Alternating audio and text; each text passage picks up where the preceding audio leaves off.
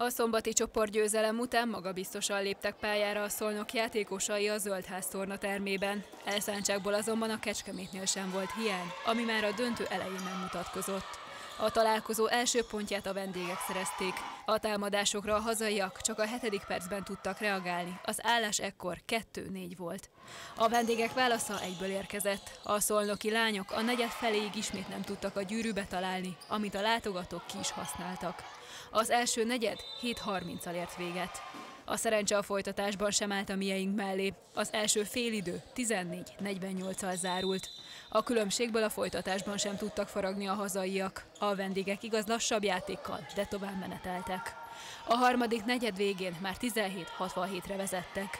A biztos győzelemmel a zsebükben vágta bele a látogatók az utolsó etapba. A mérkőzés végére 25-87-tel tettek pontot. Nagyon nehéz alapozásra vagyunk túl, alapvetően fizikális felkészítésről szólt eddig, illetve a védekezésről, támadásra egyáltalán nem foglalkoztunk. Én úgy gondolom, hogy visszakaptuk a lányok nagyon sok mindent, amit, amit gyakoroltunk, de hát még az út elején járunk, egy felkészítés szempontból nagyon jó volt ez a torna, így hogy lássuk, hogy jelen pillanatban mi az, ami, ami már működik, mi az, ami nem működik, mi az, amit ki kell javítani. Nagyon sok új gyerekünk van 2007-es, tehát első éves serdül, akiknek még minden új.